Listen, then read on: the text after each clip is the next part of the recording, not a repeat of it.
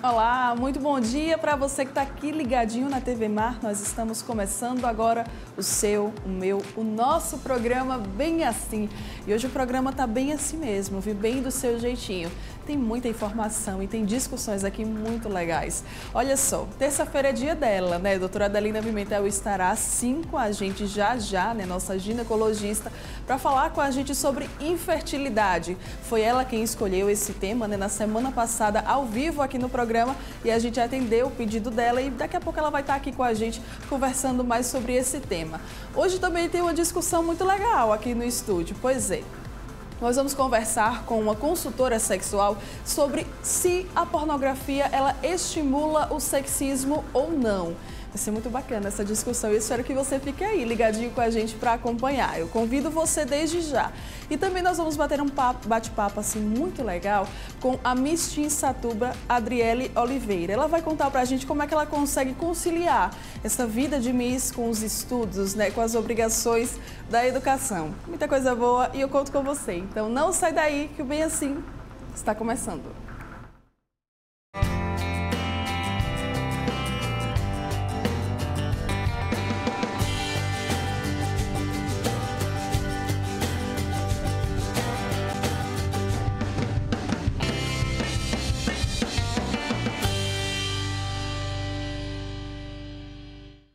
Muito bom dia mais uma vez para você que está aqui ligadinho na TV Mar, né, pelo canal 25 da NET, pelo portal gazetaweb.com, pelo nosso aplicativo da TV Mar ou até mesmo aí, quem sabe, pela nossa fanpage lá no Facebook, que transmite toda a programação da TV Mar ao vivo. Seja muito bem-vindo, tá? Nós estamos começando agora o programa Bem Assim. E olha só, eu também quero te convidar para estar com a gente nas nossas redes sociais. Pois é, se você ainda não nos acompanha lá, o que é que você está perdendo? Porque quero saber. quero você também com a gente por lá. Nós estamos no Instagram com os perfis arroba programa Bem Assim e arroba TV Mar Canal 25. Inclusive, lá no programa Bem Assim, a gente conseguiu bater a nossa meta de 550 seguidores. E agora eu conto com você para você chamar seus vizinhos, amigos, familiares, para também acompanhar, né? Seguir o nosso Instagram para a gente chegar agora a 600 seguidores. Olha só, cinco meses de programa, quatro meses, e nós já temos quase 600 seguidores. Isso para a gente é muito legal, é, a gente curte muito essa interação com vocês pelas redes sociais. Eu espero contar com você também nessa cadeia aí para estar tá chamando o pessoal. Nas nossas redes sociais, nós publicamos um conteúdo exclusivo, assim, dos bastidores aqui da TV Mar, de toda a programação e você, é claro, pode também ficar ligadinho com a gente aí nas plataformas digitais. Agora vamos falar sobre um assunto que eu acho que pode ser um pouco polêmico, mas também não. É uma discussão muito legal. Olha só, deixa eu ler aqui para você alguns dados. A idade em que um homem vê pornografia pela primeira vez está associada a determinadas atitudes sexistas no decorrer da vida. É o que afirma uma equipe de pesquisadores da Universidade de Nebraska, nos Estados Unidos. A pesquisa ela foi feita com 330 alunos de graduação na faixa dos 20 anos. A idade média em que eles viram pornografia pela primeira vez foi aos 13 anos. E é sobre esse tema agora, né, sobre essa pesquisa, que nós vamos conversar com a educadora sexual, né, com a consultora sexual Milka Freitas. Milka, muito bom dia. Bom dia, Seja muito bem-vinda mais uma vez aqui Obrigada. ao Bem Assim. Sinta-se em casa. Ah, já estou à vontade. Ah, que coisa boa. Vamos lá, já vai começar com essa perguntinha. Você concorda com essa pesquisa? Assim, só passei algumas informações, porque ainda tem muito mais aí que eu vou falar.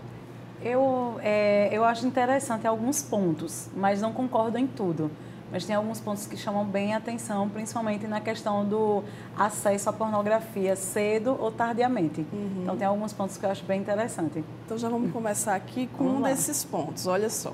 De acordo com a pesquisa, quanto mais cedo acontece a exposição à pornografia, maior é a probabilidade de que o homem queira exercer poder sobre as mulheres.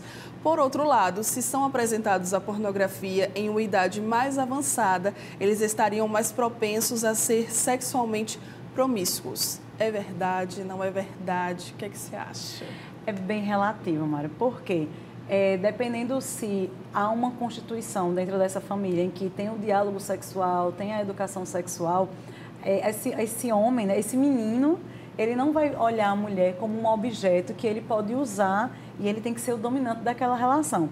Por outro lado, quando essa criança ela não tem esse desenvolvimento dentro de casa, essa abertura para tirar suas dúvidas, e aí coloca que, como é, eu já ouvi alguns comentários, que só fala sobre sexo propriamente dito depois dos 18 anos, porque atinge a maioridade. Então, é muito provável que esse menino, quando ele se abrir para o um mundo, ele vai querer experienciar tudo de uma vez só. Uhum. Porque a gente tem que ter cuidado, que aí é onde eu discordo um pouco da pesquisa, porque eles fizeram com um grupo controle, né? Isso. Foram homens, em sua maioria branco, faixa etária de 13 a 26 anos, e universitários. Então, isso pode acontecer com a menina também, e principalmente hoje que a gente está com essa revolução sexual numa terceira, partindo já para uma quarta fase dessa revolução dentro do contexto feminino, que pode acontecer também a mesma coisa. A gente tem que entender que o machismo ele não é restrito somente ao grupo masculino mas ao grupo feminino também pode acontecer. Isso é verdade. E aí tem outro dado aqui. Os pesquisadores eles ficaram surpresos ao descobrir que o acesso mais tardio à pornografia estava associado a um estilo de vida playboy, né, que segundo eles, lá dessa universidade de Nebraska, são onde os homens, esse estilo playboy é onde os homens eles trocam com frequência de parceiro sexual. E os que foram expostos à pornografia cedo, muitas vezes eles não gostam do sexo na vida real. É, é bem, é bem curiosa essa bem afirmação. curiosa essa afirmação, é, né? Porque, veja, nessa questão do, do tardio, do ser playboy, eu acho que a gente tem que ter um comparativo até com o que a gente está vivendo hoje em dia.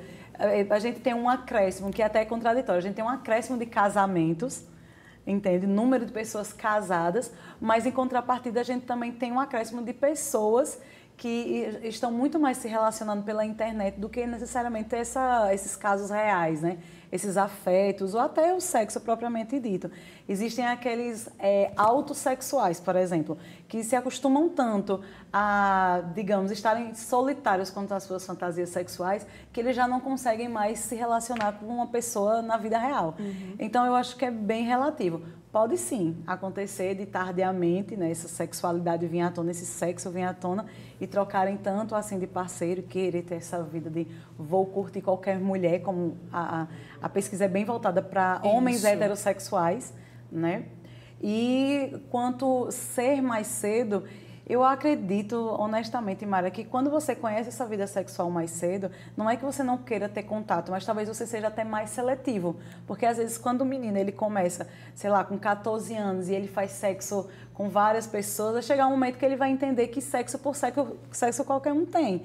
E aí talvez comece a ser mais seletivo para ter um relacionamento. Então são pontos bem contraditórios, assim, mas. Verdade. Eu, eu, digo pela experiência de vivência com o que as pessoas relatam, os eventos que eu faço, as pesquisas que eu faço dessa, dessa contradição entre querer estar com alguém e, por conta das redes sociais, querer estar só. E o que é bom, assim, também, que eu acho bem legal de você estar aqui fazendo esse comparativo é que, por exemplo, a Milka, a realidade da Milka somos nós, né? Alagoanos, Exatamente. brasileiros, que eu acho, né, assim, na minha opinião, nós temos talvez, enfim, personalidades diferentes, não sei, do que o pessoal de lá dos Estados Unidos, né, Milka? Deve é, ser. É, a questão da, da cultura regional, a gente tra trazendo aqui para Alagoas. A gente vive num estado que é extremamente machista. É, até para eu exercer o meu trabalho na educação sexual, eu sinto uma certa resistência e preconceito quando falo educação sexual. Ah, você vai ensinar a fazer sexo? Não. Mas é, eu percebo também que eu tenho avançado com essa temática. As pessoas, mesmo resistindo, mas elas, não, tá, vamos tentar. Então, eu não posso fazer um comparativo do homem alagoano, né, a heterossexual, uhum. com o homem que está lá nos Estados Unidos e ainda mais como ela foi bem específica. Ainda não foram, é, é, desculpa, divulgados esses dados, mas já foi apresentado uma conferência, né? Mas eu não posso fazer esse comparativo do homem dos Estados Unidos com o homem alagoano, por exemplo, ou até o homem brasileiro mesmo. Isso. Então é bem, é bem relativo. O que é que a gente pode, pode ter aí como base que possa ser bem próximo às realidades? É a ausência do discurso de igualdade e de respeito dentro de casa. Porque eu posso ter esse comportamento, eh, digamos, eu tenho um discurso dentro de casa em que eu respeite as pessoas. Então, independente com quem eu for fazer sexo, eu vou respeitar aquela pessoa e também respeitar o que, é que eu acho interessante para minha vida, que não necessariamente a gente tem que estar casado para ser feliz, né, ou solteiro, enfim. Vai depender do que você considera. Isso mesmo. E aí também tem outro ponto muito polêmico na pesquisa que ela afirma, né, assim, que a pornografia ela pode tornar o homem sexualmente descontrolado. É. Isso... eu acho que eu vou mandar um zap assim. né, para essa pesquisadora para entender melhor a logística dela. Olha, é, eu acredito, Mara, que quando você não, não está bem consigo, seja com o corpo, seja com o seu sexo, seja com a sua relação quanto sociedade, quanto família, você pode, você pode estar descontrolado. Não necessariamente você é ou você fica por um longo tempo, mas você está. Depende do momento que você vivencia. Então, é, seguramente, se essa, se essa pessoa, se, no caso, o macho machista, como ela coloca aí, se ele entende que a pessoa que ele faz sexo, que nesse caso seria a mulher, ela é só um objeto e ele tem que usar para poder alimentar o ego dele, então, infelizmente, é, é, aquela coisa. Eu tenho que entender se realmente vale a pena eu estar usando as mulheres como objeto, se eu preciso daquele ego alimentado continuamente, ou se eu posso entrar na minha consciência e dizer assim, não, eu posso ser feliz com alguém sem estar me aproveitando organicamente de uma outra pessoa. É, o que traz junto disso também, que não está na pesquisa, mas a gente pode abrir aí um parênteses, é em relação ao descontrole do sexo sem, sem proteção, Sim. sem preservativo. E aí pode acontecer, porque tem muitos homens que sentem esse domínio em relação ao sexo quando deixa lá o seu terreno marcado, que seria a ejaculação. Ah, eu tenho que marcar terreno. Uma vez que eu coloco a camisinha, eu não estou marcando terreno. Entende? Ainda, ainda tem, isso é muito cultural e às vezes até inconsciente. a gente pode dizer até que é um inconsciente coletivo, muitas vezes, dependendo dos grupos entende? Então acho que só nesse comparativo Brasil, Estados Unidos e Alagoas seria isso, essa coisa do, do poder estar por cima no caso da mulher, que a gente tem que ter cuidado. E aí saindo um pouco da pesquisa e fazendo uma pergunta que eu acho que o pessoal aí de casa também deve estar se fazendo, né? É, a pornografia ela é algo saudável ou não? Olha, a gente tem a, a, pornografia saudável, que seria aquela que não baixa o nível, no sentido de, de, de de colocar aquela pessoa em situações humilhantes. O grande problema, Mara, é quando você começa a usar, digamos, filme pornô. O filme pornô, quando você se compara com esse filme pornô, com as práticas desse filme pornô, onde as pessoas, além de serem pagas, elas são é, treinadas tecnicamente para isso, para poder exercer aquela função quanto ator e atriz. Se você começa a se comparar com isso, aí sim a pornografia ela não vai ser saudável para a sua vida.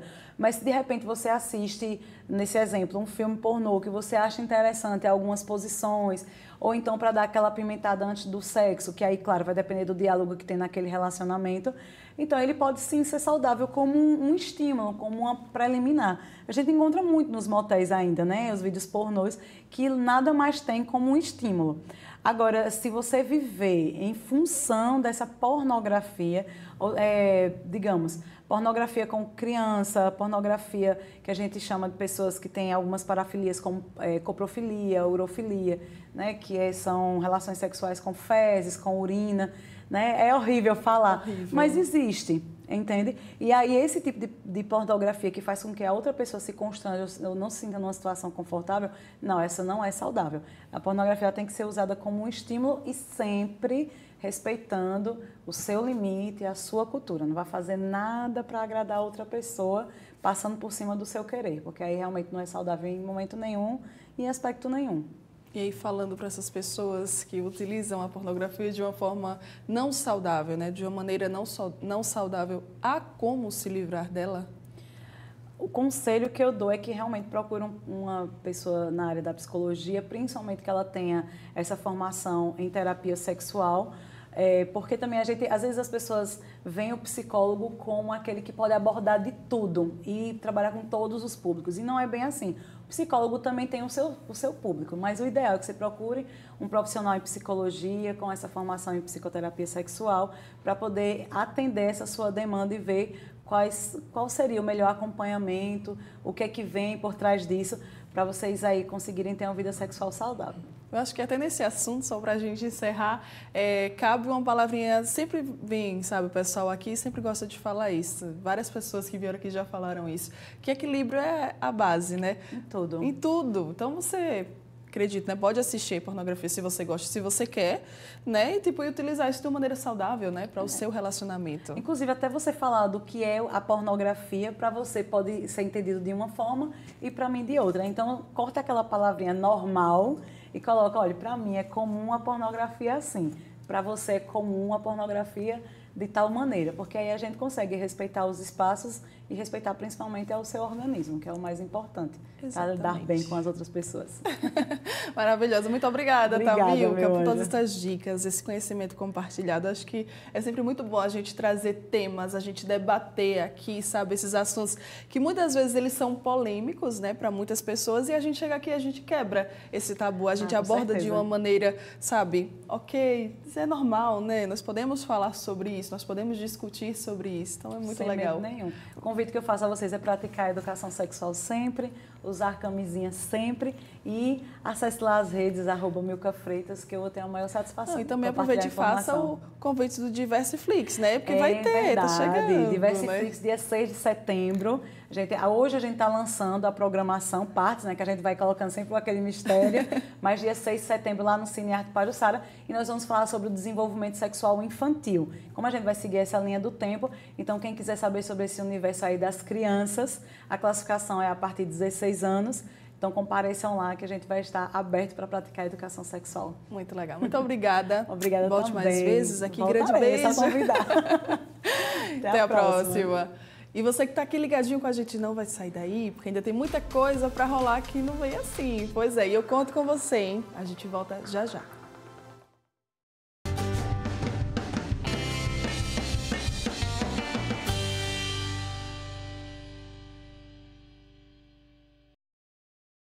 O Instituto Arnon de Melo apresenta os fatos mais marcantes da história do nosso estado em uma publicação inédita. A obra literária Alagoas 200 anos. A cultura, geografia e economia dos dois séculos da emancipação política do estado, contada em 10 fascículos todas as terças-feiras encartado na Gazeta de Alagoas. Assine a Gazeta e tenha sempre em suas mãos a melhor informação e colecione o fascículo Alagoas 200 anos. Realização Instituto Arnon de Melo. Cada investimento mostra o quanto nós, do Apvida, somos apaixonados pela vida das pessoas. Em breve, a maior rede exclusiva de saúde do Norte e Nordeste vai ampliar o Hospital Maceió. Além disso, as apiclínicas Pinheiro e Maceió serão modernizadas com estruturas eficientes e preparadas para oferecer atendimento humanizado. Tudo para que você possa levar uma vida plena. A Apvida faz bem para você.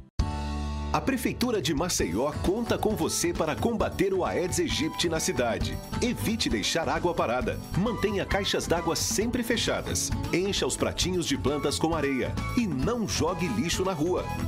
Além de todas essas ações, faça uma vistoria semanal na sua casa para identificar possíveis focos. Com pequenas atitudes, vamos juntos combater o mosquito. Prefeitura de Maceió.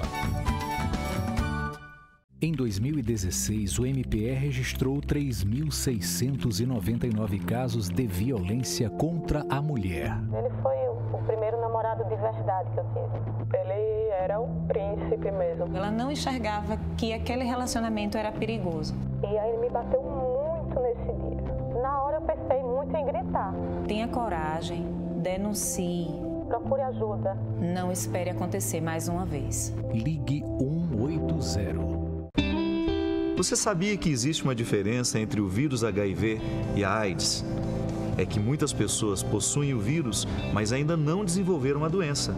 Por isso é tão importante o diagnóstico precoce, para que a gente tenha condições de tratar o vírus antes que ele se torne uma doença. Faça o teste HIV/AIDS. Apoio Organização Arnon de Melo. Programa Pequenas Obras, Grandes Mudanças que o governo do estado já realizava, agora ficou maior e ainda melhor. Com a parceria da ONU, a Organização das Nações Unidas, o governo dá início ao Vida Nova nas Grotas. Programa que chega para ir além das obras de mobilidade e de infraestrutura. É mais incentivo à inclusão social, com novos serviços e acesso ao esporte e à cultura. Mais um grande passo de Alagoas, agora junto com a ONU no caminho de uma vida melhor. Governo de Alagoas.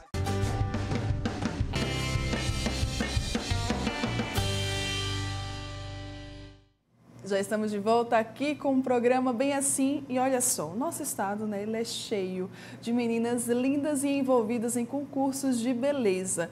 Eu, por exemplo, sou uma delas, mentira, brincadeirinha.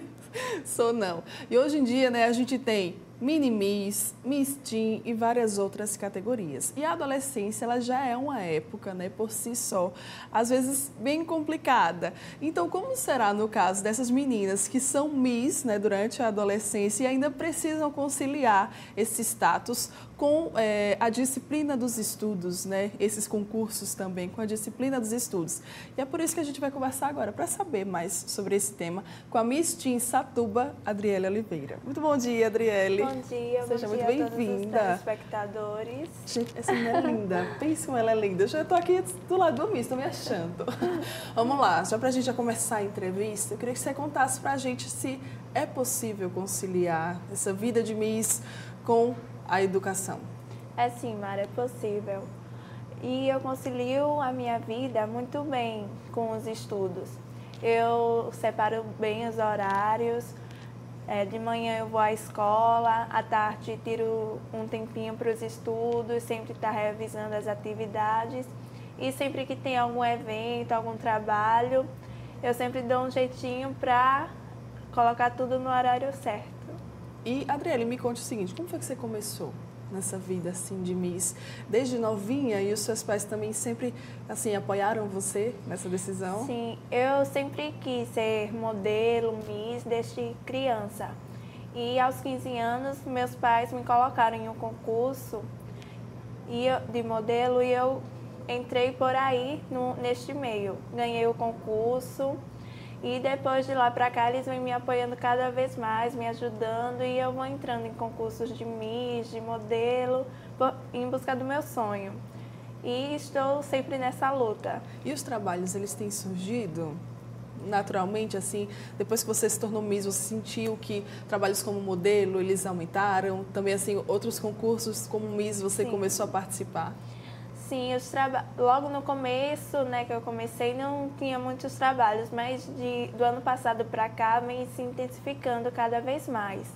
Então, eu estou sempre conciliando meus horários porque às vezes tem trabalhos que é no horário do colégio, então eu preciso faltar, mas no outro dia seguinte eu já pego é, as atividades que eu perdi então, isso, essa correria toda eu acho muito bom para mim também. E até me surgiu uma curiosidade, porque você falou que pela manhã você estuda, né? Isso. E aí os trabalhos que aparecem como modelo, como Miss, você tenta sempre conciliar nos períodos em que você não não não está estudando, né? Que é. você não está na escola. Como é que é então essa rotina, já que você tocou nesse assunto, né? Por exemplo, você precisa faltar à escola. Os seus professores, os, co os coordenadores, não sei de lá da, da escola, eles também te ajudam nisso? Tipo, olha, Adriele, você faltou ontem, tudo bem, tá aqui a sua é. falta, mas vamos tentar recuperar, né, esse conteúdo que você perdeu. Sim, eles sempre se preocupam, é, ligam para os meus pais para saber o motivo e, e, e no dia seguinte eles me auxiliam para pegar os materiais, né, que eu perdi e assim eu vou levando.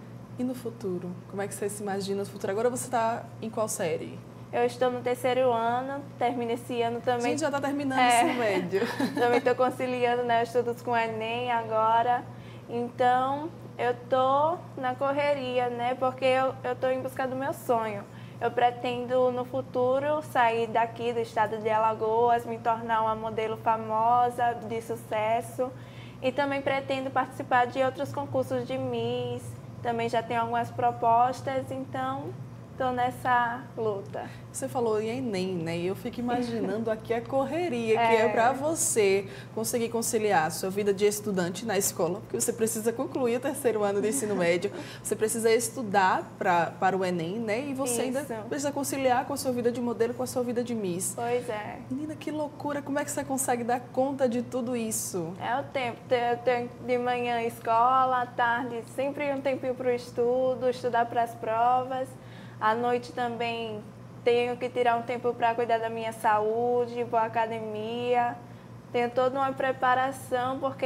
Ainda tem a vida me... saudável. É, né? nesse meio são muitas exigências. Então a gente tem que estar sempre cuidando do nosso corpo também. E que bom que você conta com a sua família, né, com o apoio é. dos seus amigos. E sobre o Enem, Adriele, você já tem assim em mente algum curso que você pretende, sim, concorrer? Eu pretendo entrar nessa área da publicidade, ou jornalismo também. Ou vai ser então, colega da gente. então, estou entre esses, essas duas áreas. Você está entre essas duas áreas, né? é. né? E no último dia 12, né? Eu tenho informações Isso. aqui que você participou do concurso Miss Tinha Lagoas Internacional. Como é que foi? Ah, foi uma experiência incrível o concurso. Fiz novas amizades, é, tive novas aprendizagens também, porque tudo isso conta né, para a nossa experiência Sim. e cada vez mais a gente melhorar.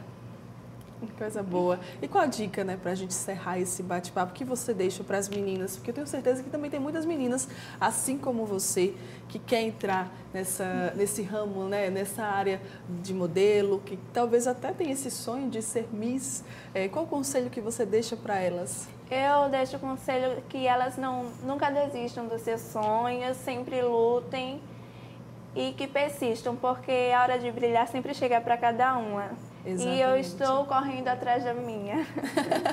Muito linda. E o que é mais legal ainda, sabe, Adriele, que eu acho, é que, tipo, dá para você correr atrás dos seus sonhos sem você abandonar os seus estudos, dá, né? Dá, sim. Porque você tem o quê? 16 anos? 17. 17 anos. Olha só, uma menina, né? É. Eu tenho 10 anos a mais do que você. E tem, talvez tenham meninas aqui que estejam nos assistindo que tenham menos e que tenham uhum. esse sonho, mas que às vezes fiquem achando é. que para você seguir essa carreira você precisa abandonar os estudos. E não é bem assim, né? Não, não é. A gente tem que sempre priorizar os estudos, porque o estudo é a base de tudo e sem ele também a gente não pode chegar a lugar nenhum. Então, sempre colocar os estudos em primeiro lugar. Exatamente. Até nessa área, né, de modelo, até nessa área de estudos também são exigidos, né? Exatamente, né? porque tem provas de oratórias no concurso e a gente precisa ter o estudo, né, para se sair bem nessas provas. Isso mesmo. Amor, muito obrigada pela sua presença aqui no nosso programa, agradeço. por compartilhar essa experiência, que bate-papo legal, né? Volte mais vezes, tá? Volto, aqui. Sim. Quero ver você brilhando muito ainda, ganhando ah, outros obrigada. concursos e voltando aqui para a gente falar também sobre esses novos títulos aí que você vai ganhar. Amém. Tá? Muito obrigada. obrigada. Volte mais vezes aqui. E você que está aqui ligadinho com a gente, não vai sair daí, porque daqui a pouco ela está chegando, pois é, vai ter a doutora Adelina Pimentel conversando aqui com a gente sobre infertilidade. Tem muita coisa, tem muita dúvida e ela vai esclarecer tudinho daqui a pouco. Eu conto com você, hein? Não sai daí que a gente volta já já.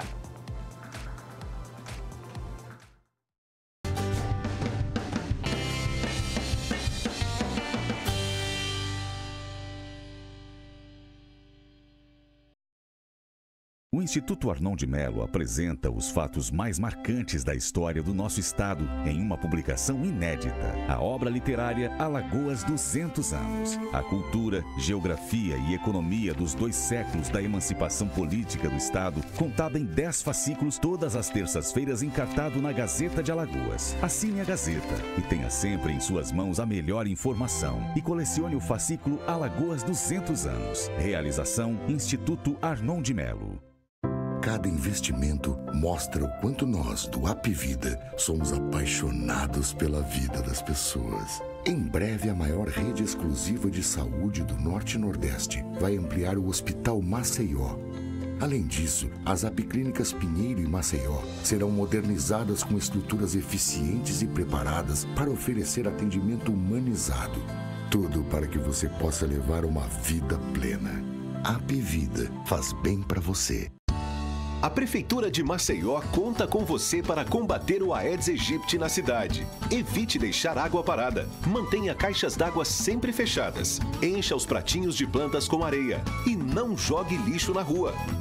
Além de todas essas ações, faça uma vistoria semanal na sua casa para identificar possíveis focos.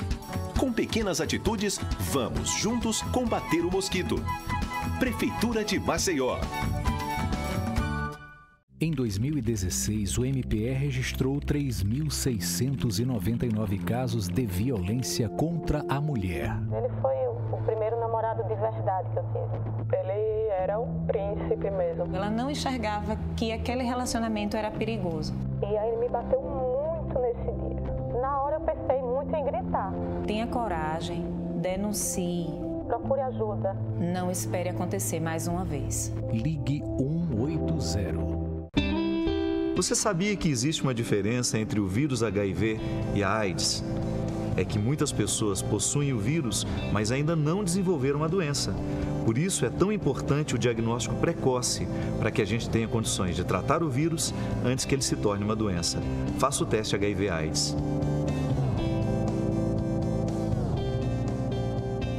Apoio Organização Arnon de Melo.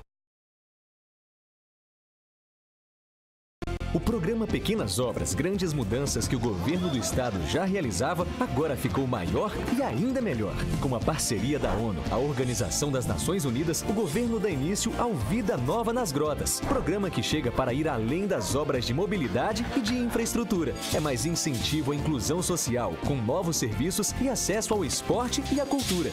Mais um grande passo de Alagoas, agora junto com a ONU no caminho de uma vida melhor. Governo de Alagoas.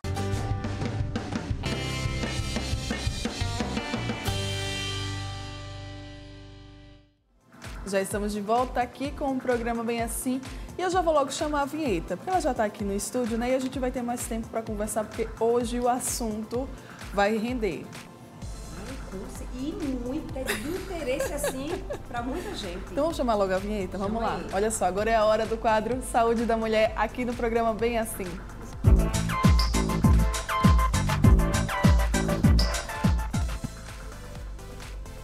Agora sim, agora ela vai aparecer. Oi, eu vou na carinha assim, oi!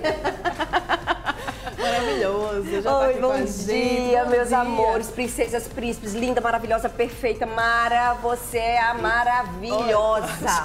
Nada de maravilha, maravilhosa. Vamos lá. Sim, meu amor, esse assunto tema realmente... de hoje, infertilidade. E eu fui, estava falando com ela porque eu fui pesquisar sobre infertilidade. E eu nunca achei que fosse um assunto tão extenso. Não é? Fiquei É. chocada. Lembra que na semana passada, com as perguntas das telespectadoras, né, surgiu essa dúvida, essa pergunta, essa vontade de saber sobre Isso, infertilidade. exatamente. E aquilo que eu falei, não é assunto para segundos, é assunto para um programa inteiro. E a gente atendeu o Quiçá pedido dela. Vários programas, exatamente. Porque aqui. é um mundo de causas, né? É um mundo de causas. Primeiro falar o que é É, infertilidade. o que é infertilidade? Tem muita gente que Exatamente. talvez ainda não saiba, Claro. né? Ou às vezes não quer usar o termo infertilidade, porque dá a impressão que infértil é aquela pessoa que não vai engravidar nunca. Nunca. Mas não é bem assim. Infertilidade é quando existe uma dificuldade para engravidar decorrido um ano sem qualquer método anticoncepcional e não engravida. Aí a gente considera infertilidade. Então, no caso, você tentou por um ano engravidar e você Sem não qualquer conseguiu. método. E, né, e tendo relação, né? Sim. Exatamente. E você porque não sem ter conseguiu, relação, lógico. Porque às vezes, ah, mas eu tô sem evitar um ano. Mas meu esposo trabalha fora, só vem a cada 15 dias. Às vezes não coincide, entendeu? Então a gente tem que ter todos esses cuidados. E aí vem uma dúvida que eu, que eu acho que talvez deva ser assim de 90% das pessoas. É um problema exclusivamente feminino? Ela já começou a rir porque ela já sabia que era isso. Lógico que não, né? A mulher ela não se autofertiliza, lógico, né? Ninguém aqui é Nossa Senhora, né? Cada Exatamente. a luz é um ser grandioso como Jesus, né? Então precisa da participação do espermatozoide, né? Do homem, obviamente, nessa concepção. Então, se a gente for estabelecer de quem é a culpa, primeiro eu não gosto desse termo culpa, né? De quem é a impossibilidade temporária, vamos dizer assim, é do homem e da mulher. Então vamos colocar 50% dos dois. 50 e 50%. Então não adianta num relacionamento, é, quando existe a dificuldade para engravidar, um acusar o outro. Principalmente os homens costumam acusar as mulheres, infelizmente, por é pura ignorância ou maldade mesmo. Ou a questão do machismo, quer dizer, eu como homem, eu tenho uma ferramenta que pode engravidar, então a culpa é da mulher. De forma alguma, é do homem e da mulher. Então, é importante que numa avaliação de infertilidade estejam presentes homens e mulheres, quer dizer, esteja o casal ali presente para começar uma investigação. Exatamente. Então, e se tudo começa certo, dá certo. Não adianta empurrar a mulher, vai lá, que a culpa é sua. De E jeito sem nenhum. contar que, assim, às vezes é um assunto tão delicado, né? Pra pessoa chegar e ser largada lá sozinha. Ah, mas acontece. Ah, não, o que acontece, a gente sabe o que acontece. Mara, Mas que coisa, viu? Mara maravilhosa. Sabe o que, que acontece? O homem diz, vá você, eu não tenho problema. E muitas mulheres submetem a isso. Quer dizer, vão ao consultório. Acreditam, né? Vão ao consultório, o homem diz, ó, você resolva lá. E nem participa. Então, quando o homem não participa, eu já nem inicio a investigação.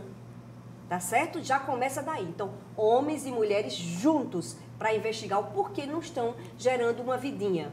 E né? fatores de risco? Existem fatores de risco Eu não? diria causas, né? Causas para infertilidade.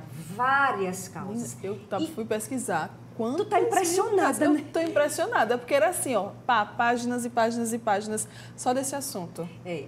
E eu até aconselho as pessoas que estão tentando engravidar que não vão pesquisar em Google.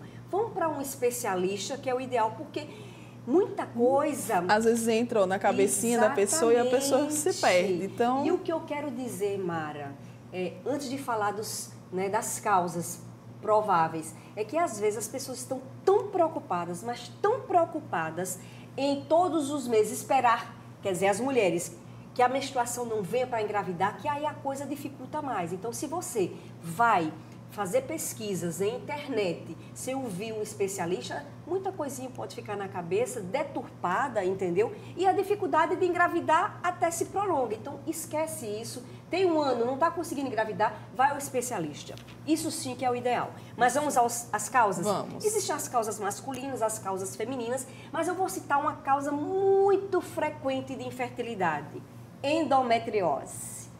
Não só, mas é uma das causas muito frequentes.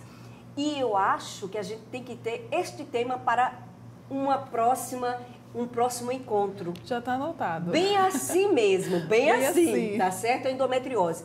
E eu, por que, que eu estou citando a endometriose como um fator muito importante? Claro que é um fator feminino, porque o diagnóstico da endometriose ele não deve ser tardio. A gente tem sempre, numa consulta ginecológica, que olhar para a mulher um olhar não só de profissional, mas um olhar de que tem tempo para se dedicar a esta paciente, para se diagnosticar, principalmente uma endometriose, precocemente, para aí assim é, impedir que essa mulher tenha uma infertilidade, uma dificuldade para engravidar. Tá certo? Outra causa, vamos dizer uma causa masculina, Vamos. questão de espermatozoide. Quando o bichinho não, não, o rabinho não anda rápido também, não encontra o, o localzinho certo de entrar, também vai ter problema. Quer dizer, aqueles homens com baixa produção de espermatozoides, lógico, ele em nenhum momento vai deixar de ser o homão, machão, gostosão. Mas se o espermatozoide Só a produção, né, que não é- funcionar, não só a produção, a quantidade, mas a viabilidade. Gostou da viabilidade? da viabilidade desses Produção, espermatozoides. Como foi? Produção. a produção e a viabilidade, a porque ele pode viabilidade. ter um número grande de espermatozoides, mas eles não estão ativos, estão fraquinhos, entendeu? Lá de boa, não querem adentrar o orifício do colo uterino para lá durante uma, uma viagem linda, maravilhosa, que é a concepção, que é o encontro do espermatozoide com o óvulo.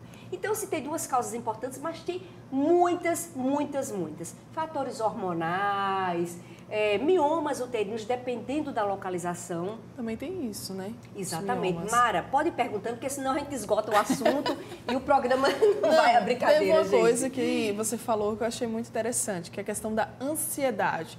Que tem muita mulher, né, que fica ansiosa, que já começa a achar, meu Deus, eu nunca vi na vida vou conseguir engravidar, socorro, vai pro Google, como ela mesmo falou, vai pesquisar, enfim, várias coisas, fica, ó, doidinha E da outra cabeça. coisa, essas mulheres passam o mês inteiro, Mara, pensando na menstruação, para que a menstruação não venha, torcendo para a menstruação não vir.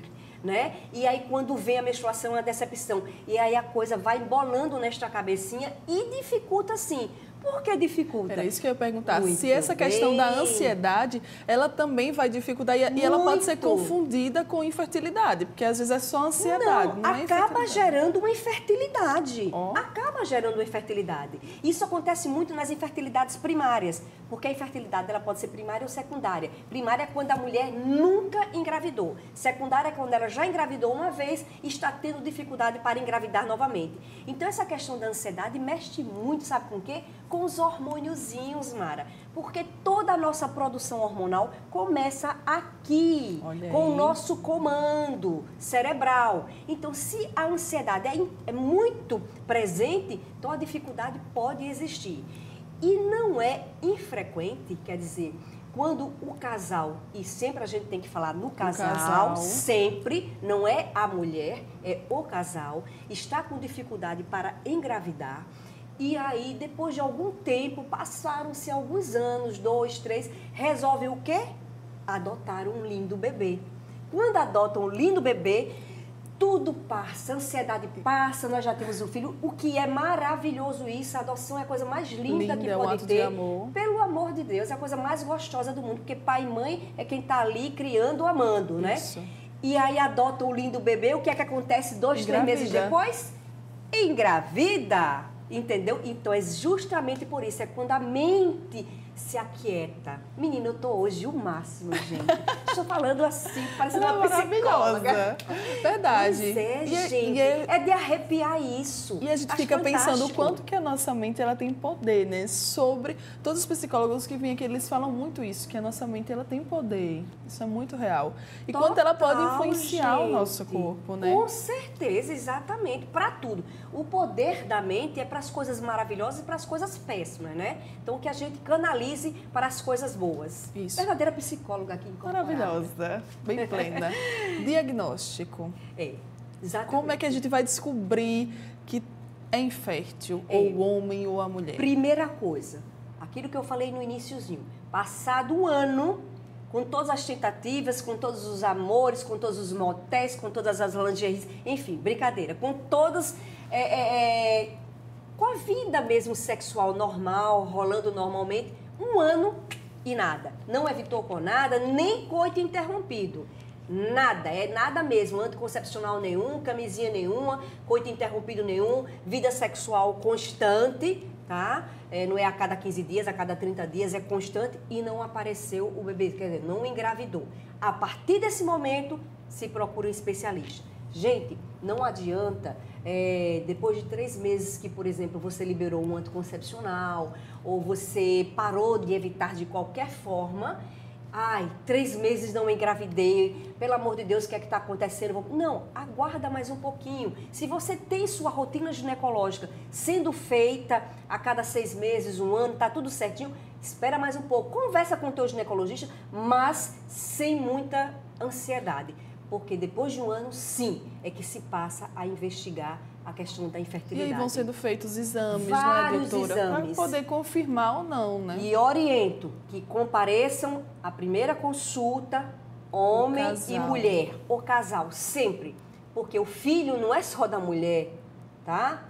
É dos dois. É óbvio que normalmente a gente não vai encontrar um homem indo ao ginecologista porque não está conseguindo Sim. engravidar a mulher. Mas o caso inverso é verdadeiro. Mas que vão os dois, tá? Então, a partir daí, se estabeleceu a infertilidade, tá?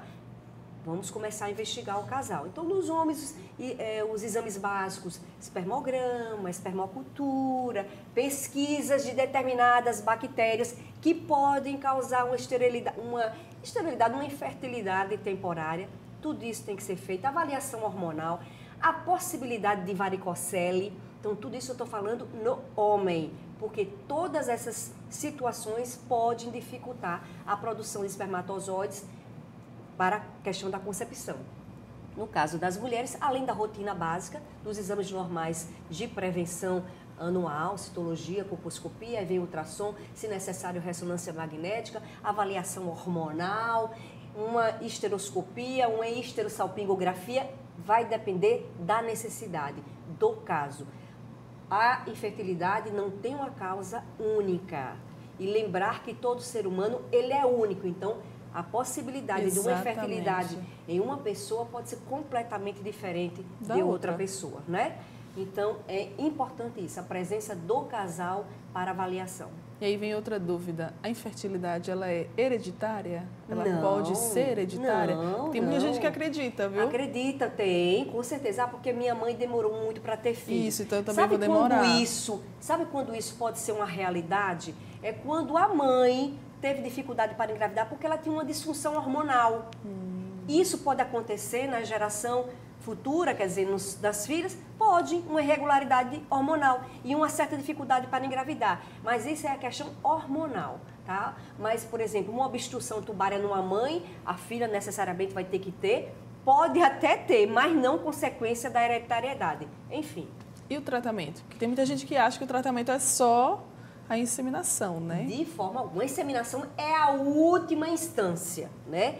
Antes de qualquer possibilidade de inseminação, de fertilização, tem que se esgotar toda uma avaliação. Porque parece, e é verdade, muitas vezes, que a inseminação é muito mais rápido.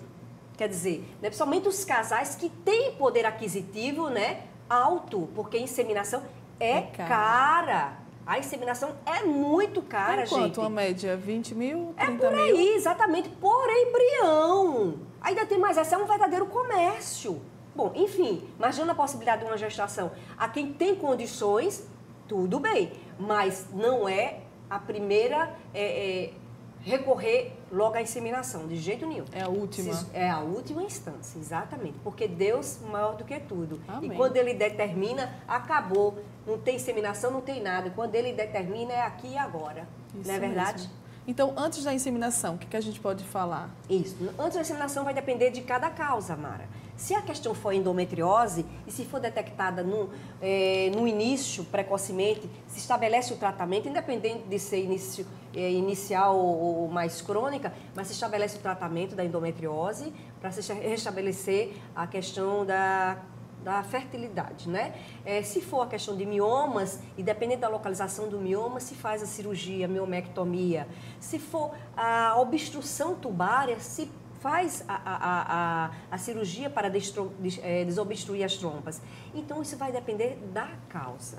Tá certo? certo? No caso dos homens, se for uma varicocele que esteja prejudicando a produção de espermatozoides, vai fazer a cirurgia. Se for alteração hormonal, tratar. E aí vai depender da causa, realmente. E aí tratou, descobriu qual é o problema, conseguiu resolver, conseguiu engravidar, né? Fez o tratamento e conseguiu engravidar bebês múltiplos. É possível, não é possível, é, possível, é raro, não é raro? É muito possível, sim. Dependendo de alguns tratamentos hormonais, sim. E sempre a gente avisa para paciente, olha, pode vir dois aí. aí mas elas ficam maravilhadas, né? Maravilhadas. Né? É, mas pode acontecer. Caso de inseminação mesmo, que você já pode programar, eu quero dois bebês, eu quero três bebês, enfim, né?